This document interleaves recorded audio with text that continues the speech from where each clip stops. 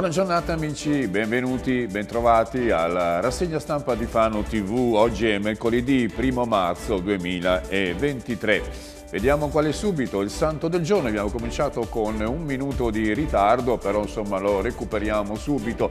Il santo del giorno di oggi è Sant'Albino di Angers, vescovo vissuto tra il V e il VI secolo. Durante la vita eh, Albino compì molti, molti miracoli, lottò contro i matrimoni incestuosi, allora molto frequenti nelle grandi famiglie, fu delegato al concilio di Orléans e organizzò la chiesa in Gallia. Fu un grande organizzatore, ma fu un grande fedele, uno che visse una vita molto morigerata, diede l'esempio di se stesso a quelli che voleva convertire. Sant'Albino di Angers. Ed ora passiamo alle previsioni del tempo. Vediamo che su tutta la regione Marche i cieli si mantengono nuvolosi, ecco vediamo qui la grafica, nuvolosi o coperti con deboli piogge in intensificazione pomeridiana con rovesci anche a carattere temporalesco, quindi nel pomeriggio le, le condizioni del tempo peggioreranno. Sono previsti 23 mm di pioggia, il mare è mosso e le temperature si aggireranno tra gli 8 e gli 11 gradi. Ciò detto passiamo alla rassegna stampa e vediamo subito l'apertura al Corriere Adriatico che ci informa di un grave incidente che si è verificato ieri nel tardo pomeriggio intorno alle 19 sulla via Flaminia all'altezza di Cuccurano, travolto da un'auto davanti alla nipotina.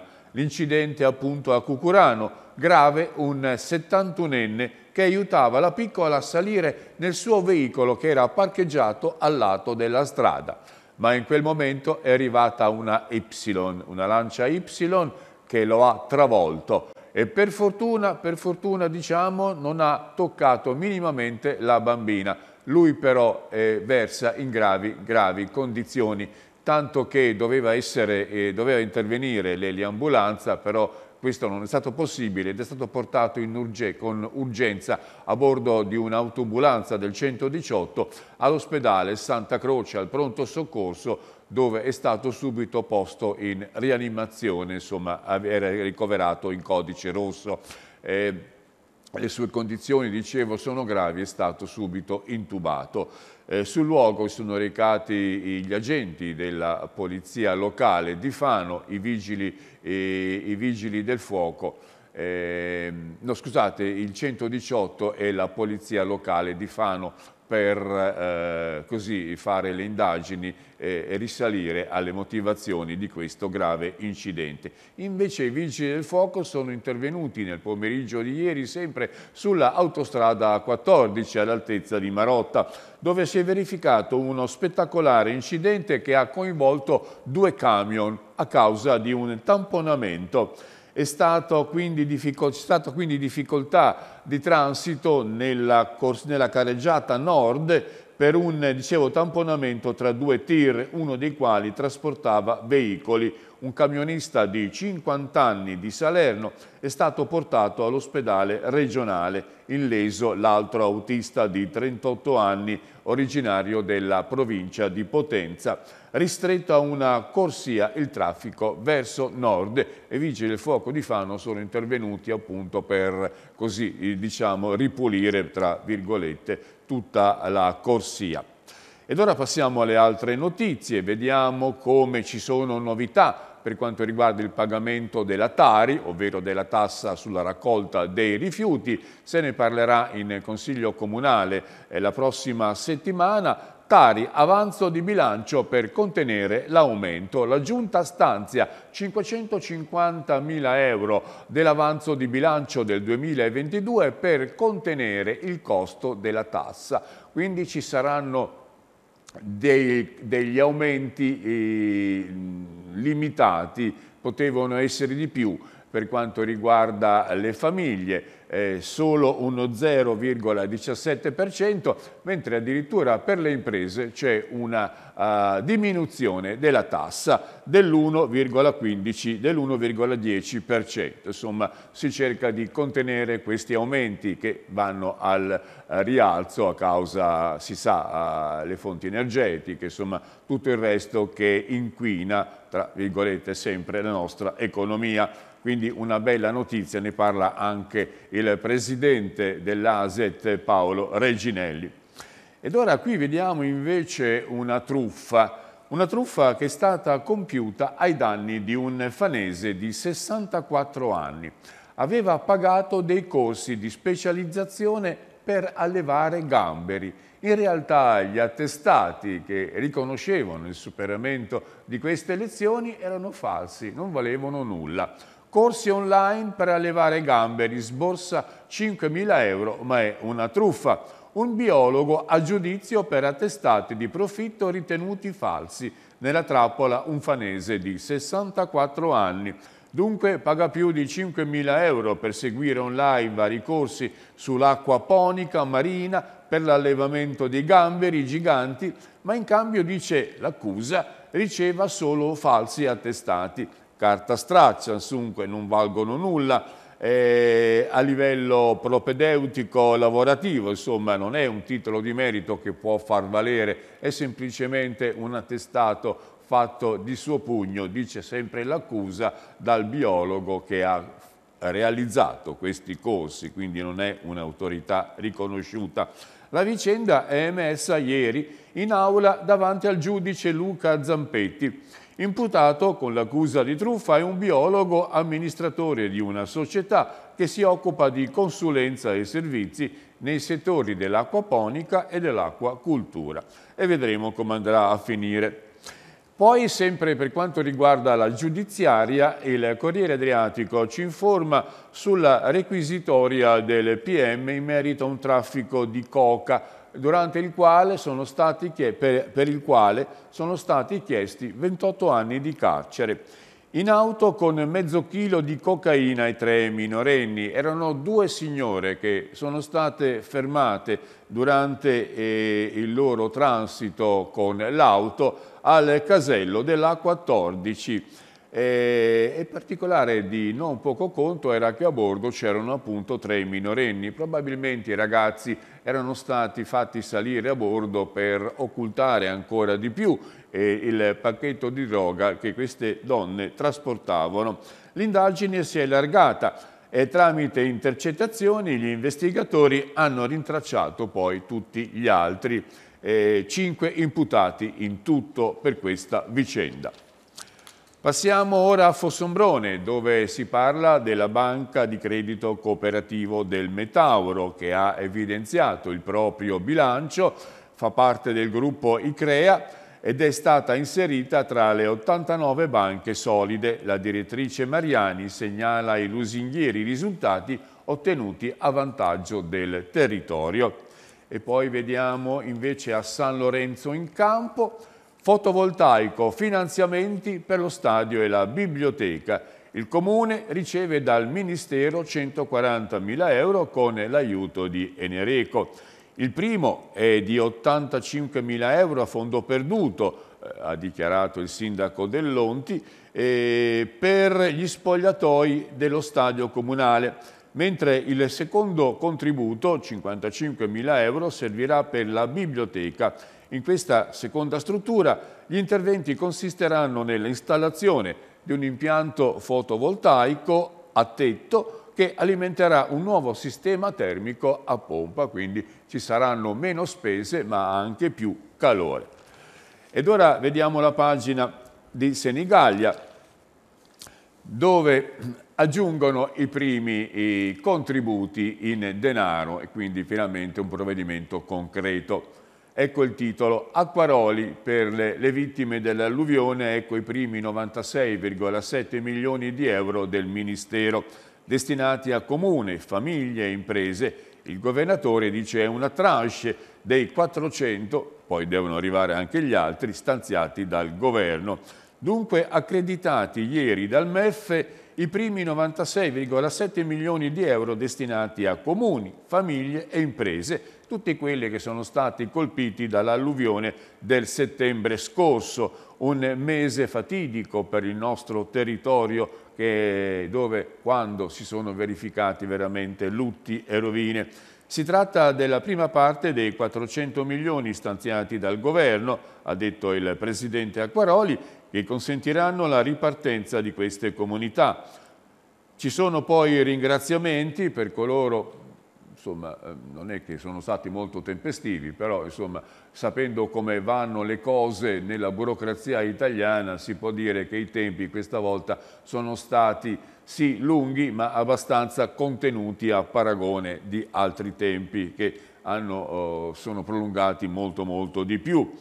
Ebbene, comunque è un importante risultato, un importante risultato a fronte di uno stanziamento mai previsto in passato per una calamità distruttiva come quella che ha colpito le Marche.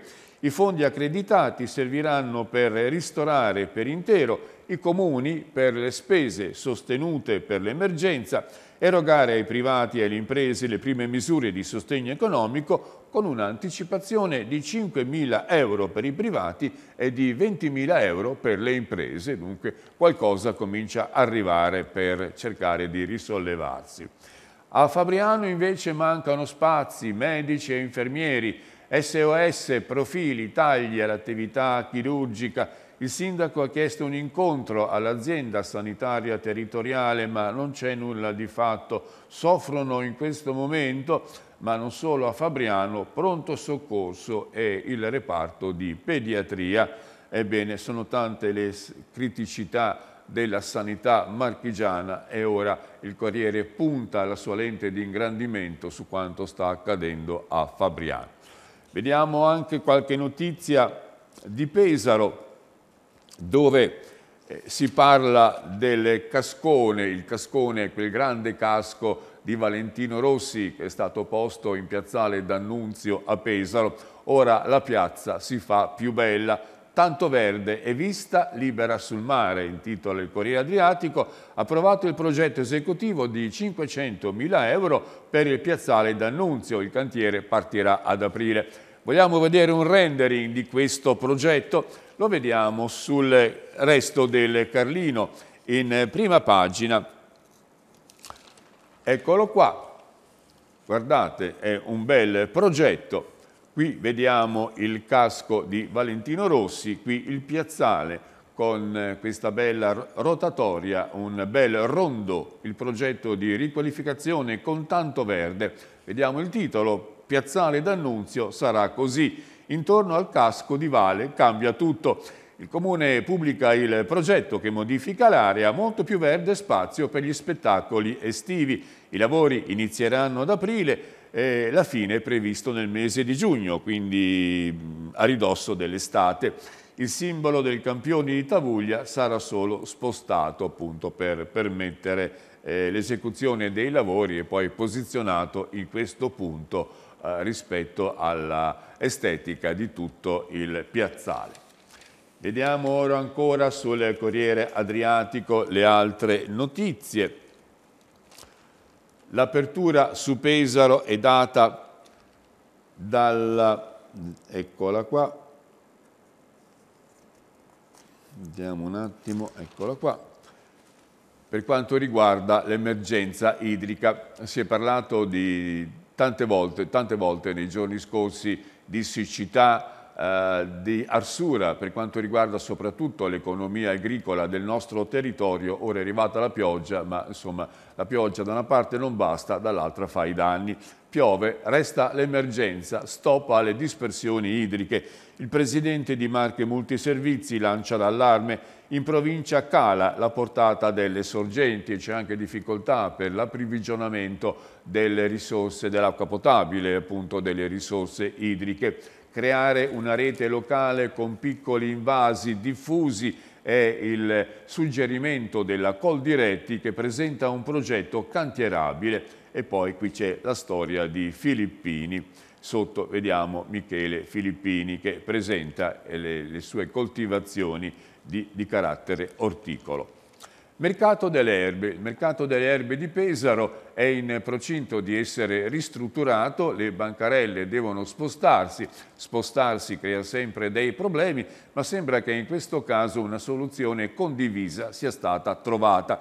Infatti sei bancarelle troveranno posto in negozi sfitti del centro storico e Ippaso, in rappresentanza della Confesercenti, precisa che la nuova sede per le bancarelle prevede il riuso di vetrine in abbandono. Quindi da una parte si riqualifica un edificio che insomma al momento non viene utilizzato e quindi potrà essere così eh, esteticamente eh, valorizzato per eh, i prodotti che verranno esposti e dall'altro invece si offre un'alternativa un efficace ai commercianti ambulanti. Lavori allo stadio, eh, progetto pronto a giugno per la copertura finanziaria della tribuna Prato, l'assessore Pozzi ammette stiamo cercando i fondi, quindi si sta lavorando alacremente per valorizzare anche il Benelli. Abbiamo parlato del cascone di Valentino Rossi, quindi giriamo ancora la pagina e, e parliamo di un problema eh, che ancora rimane, quello di trovare lavoro. Il problema ha due aspetti. Da una parte ci sono ditte che non riescono a trovare il personale adatto alla loro attività, dall'altra ci sono persone che cercano lavoro e non la trovano.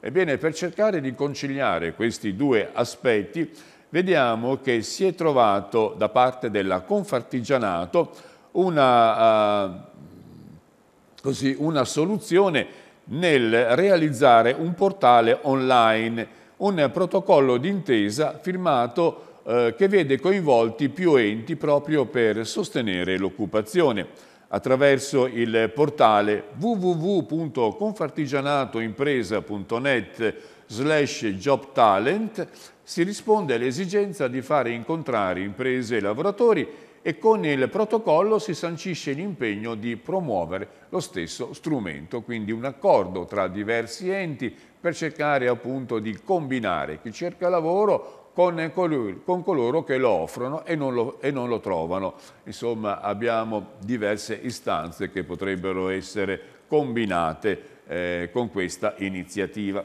E poi in quest'altra pagina invece abbiamo un personaggio eh, che è, noto oh, per quanto riguarda eh, diciamo così, la polizia, eh, il commissariato, la questura di Pesaro Urbino. Si tratta di Marco Lanzi, che è il sindacalista del SIULP, un personaggio che è noto anche tra i giovani perché è intensa la sua attività fatta nei confronti delle scuole per così insegnare ai ragazzi le misure contro il bullismo, eh, e anche sulla dipendenza dei social.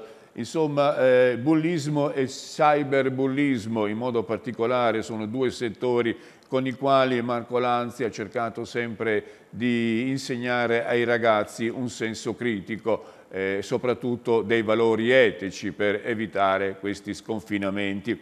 Ebbene va in pensione, va in pensione ma rimane sempre segretario provinciale del SIULP e quindi continuerà la sua battaglia per avere un incremento di organico per quanto riguarda il commissariato di Fano, quello di Urbino e la questura di Pesaro e soprattutto cercherà di dare migliori condizioni di lavoro appunto ai suoi soci, ai suoi amici. Picchiano la butta fuori che tenta di separarli. Due giovani a processo, uno risarcizia la vittima, l'altro si prende anche quattro mesi. E a fare le spese di questa uh, notizia è stata una butta fuori, una butta fuori, sì perché era una signora, una, una steward a servizio di un locale. Questa ha denunciato, mh, ha denunciato due persone eh, una delle quali le avrebbe sferrato pugni sul corpo e al volto, centrando addirittura il naso, un colpo che le ha provocato la frattura del setto che i sanitari dell'ospedale le hanno giudicato guaribile addirittura in 30 giorni e quindi questa storia è finita in tribunale. Vediamo ancora altre notizie per quanto riguarda Pesaro, anzi no, passiamo ad Urbino, eccola qua. Allarme dato da un agricoltore, negli anni tanti sversamenti, si tratta della discarica di Calucio che ieri è stata discussa in Consiglio regionale. Eh, c'è stata una interpellanza eh, di Marta Ruggeri, capogruppo del Movimento 5 Stelle, eh, anche in cancellieri in regione segnala la serie non più tollerabile di incidenti a Lucio, quindi cancellieri della Lega e, e, e Marta Ruggeri dei 5 Stelle hanno segnalato appunto questi problemi, questo percolato che scende dalla discarica di Calucio e deve essere arrestato. Vediamo anche il problema della contessa che sta per essere oggetto di lavori e quindi la strada sarà interrotta. Ieri c'è stata anche una presa di posizione dell'assessore al turismo del comune di Fano, Etienne Lucarelli, un incontro costruttivo, quello sulla contessa, ha detto Lucarelli, che deve portare ad una risoluzione diversa, sottolineando l'impegno eh, che l'assessore regionale Francesco Baldelli ha profuso per ridurre i lavori a soli otto mesi, erano di più originariamente, Lucarelli sostiene che non è sufficiente eh, a limitare i pesanti danni che questo territorio subirà la riduzione dei lavori. Occorre fare di più perché poi i danni li sopportano gli operatori turistici in quanto il flusso di traffico che dovrebbe arrivare nelle coste marchigiane e nella provincia di Pesaro Urbino viene dirottato poi a sud delle Marche e quindi gli alberghi e i ristoranti del nostro territorio soffriranno. Quindi occorre dare delle provvidenze a coloro che sopporteranno i danni maggiori, ha detto Lucarelli.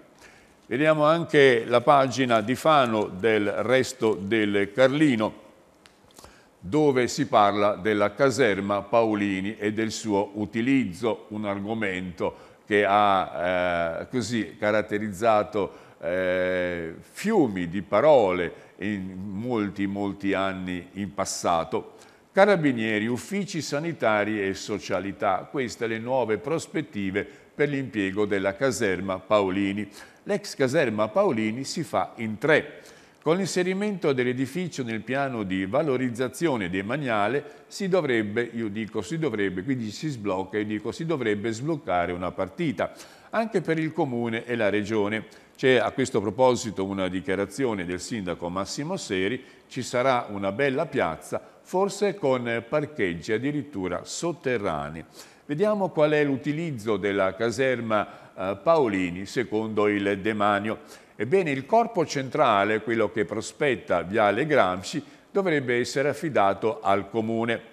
Quello oh, nord invece dovrebbe ospitare la nuova caserma dei Carabinieri.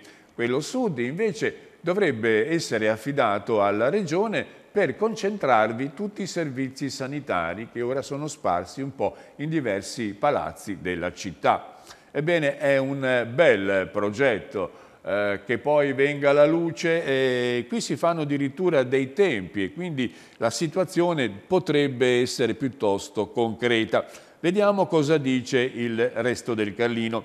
A portare sotto i riflettori questo complesso di 17.000 metri quadrati nel cuore della città è, lo, è, è stato lo stesso Demanio che ha inserito il recupero nel piano di finanziamento 2022-2027 nelle strutture statali regionali. Quindi ci dovrebbero essere soldi per realizzare quanto ho detto nel piano che va dal 2022 al 2027. Il 2022 è già trascorso, siamo nel 2023, ebbene ci sono ancora alcuni anni per eh, così sezionare, dilazionare eh, le risorse per realizzare poi Beh, poi ci sono tutti i tempi burocratici, insomma ci sarà ancora del tempo per vedere la caserma eh, eh, utilizzata, l'importante è che si cominci. Il sindaco Massimo Seri è ottimista. Invece ci sono polemiche per quanto riguarda il nuovo cantiere della Wider che sta sorgendo nell'area della cantieristica nel porto di Fano. Cantiere Wider, un gigante al porto, ha nascosto tutta la visuale. c'è chi si lamenta perché eh, non si vede più l'orizzonte, eh, ovviamente un cantiere che sorge eh, occupa gran parte della visuale verso Pesaro eh, e quindi viene danneggiata, alcuni dicono anche la passeggiata del Disippo, altri invece dicono no, no, quella è una struttura utile perché dà lavoro a tante persone poi incentiva il settore della cantieristica che è, che è ridiventato un settore leader della economia affanese e ehm, ci sono diversi giudizi in merito a questo nuovo progetto. Ne parla Claudio Razzi in maniera negativa eh, per quanto riguarda la lupus in fabula. Poi c'è l'avvocato Antonio Secli, portavoce dei residenti di Via Dante Alighieri, Giorgio Roberti l'architetto, Enrico Cipriani che fa parte del Consiglio Comunale del, eh, del eh, di Fano e poi il conte Lupo Bracci. E ci sono diversi giudizi in merito a questa vicenda. Ma noi qui ci fermiamo perché è terminato il nostro tempo a disposizione. Vi lascio a voi il piacere di leggere le altre notizie dei giornali e io vi do appuntamento a domani alle 7, sempre per la rassegna stampa di Fano TV. Grazie per l'ascolto, a risentirci.